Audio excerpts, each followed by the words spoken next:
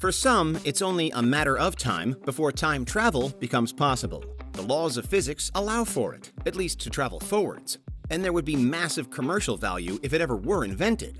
However, there are also those that believe that what we're waiting for is actually already here, that time travel is not only real, but already very advanced. And what's more, that the secrecy surrounding it goes all the way to the very top of global politics.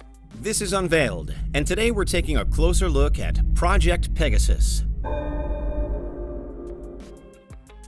Do you need the big questions answered? Are you constantly curious? Then why not subscribe to Unveiled for more clips like this one, and ring the bell for more thought-provoking content.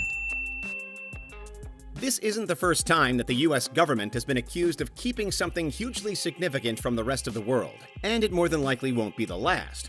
Between Area 51, the Montauk Project, the Philadelphia Experiment, MK Ultra, and more, the American authorities have an entrenched reputation for allegedly concealing the truth. But perhaps Project Pegasus is the strangest and potentially most significant claim of all. At the center of it is Andrew Basiago, a one time successful lawyer turned time travel whistleblower.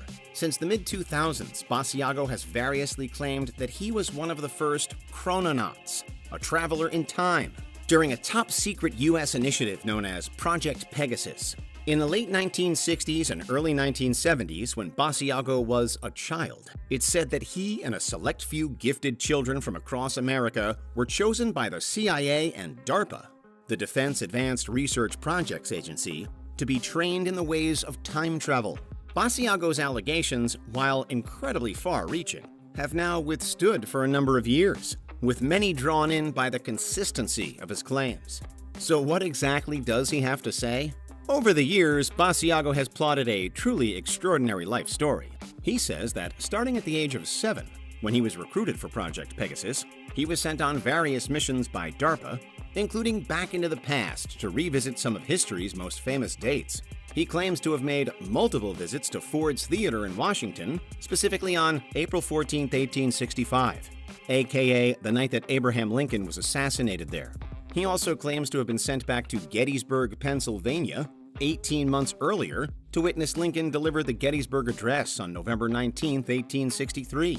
Here he even says there's photographic proof as Basiago claims to have been captured by chance in the foreground of a famous photo showing Lincoln in the background. The figure that Basiago says is him is standing apparently alone, slightly apart from another small group and looking to his right.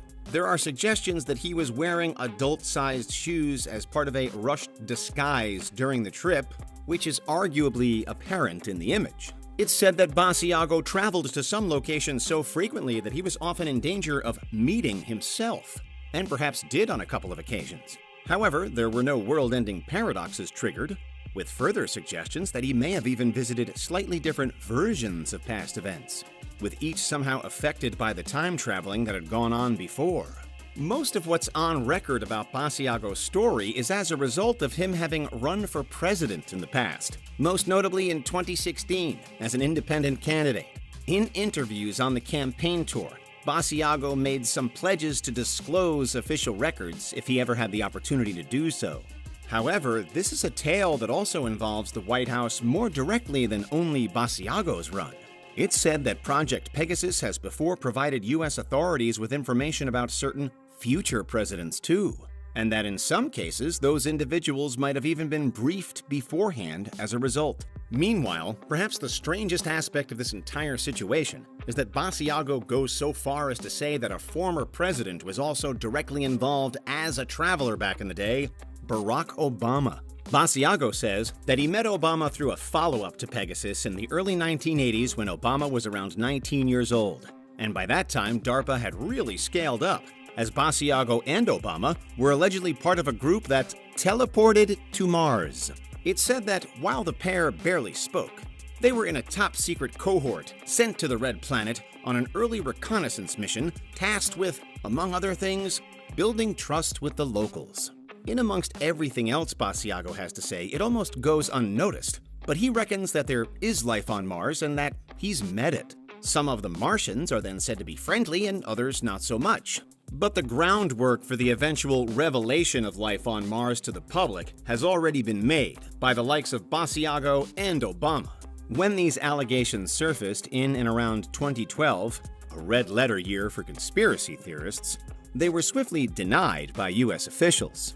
However, if any of it is true, then we will surely know by 2028 at least because that's when Basiago also claims that he will be elected either president or vice president of America. Given his history with time travel, he says that he has prior knowledge that this will happen. But still, how did any of it happen up until this point? Again, one of the reasons why Basiago's claims have endured while others have fallen away is because he has consistently referred to the same kinds of technology and the same initial process. He says he was originally identified as having the potential for time travel in the late 60s, with experiments beginning just a couple of months after the moon landings in 1969. He alleges that his father had also been an early time traveler for a number of years beforehand, but that the Pegasus initiative aimed to employ young children specifically as their reports would be much truer and free of outside influence, bias, or knowledge. Basiago further claims that even before his enrollment in Pegasus, he had displayed certain other heightened abilities, including clairvoyance, psychic powers, and levitation. In general, he could demonstrate apparent low-level superpowers to the minds of most, as could all of the others involved, which also allegedly included some now high-ranking figures in U.S. security. More than just Basiago or even Obama, it's claimed that Project Pegasus and its various top-secret offshoots were all about creating a new generation of young Americans with extraordinary capabilities. Physically speaking, Basiago has said that the time machine or portal that he used for all of his trips was seemingly quite a simple design. The contraption itself was about 8 feet tall and 10 feet wide, and was apparently just plugged into a socket in the wall. When switched on, it triggered a rush of what's referred to as radiant energy, allegedly based on designs that the US authorities once retrieved from the one-time apartment of Nikola Tesla in the mid-1940s. Being only a time traveler and not a time machine engineer, Basiago has never gone into great detail about how exactly the machine worked, although the link to Tesla implies that it would have been an extremely original concept. Either way, for the user, the DARPA time machines worked like a tunnel, distorting space-time and linking you from the present to the past or future. Simply step through and your journey began. So what do you think? Is Andrew Basiago telling the truth? Has he led a life of time travel? Will he one day become president? And is a former president really involved in a massive cover-up?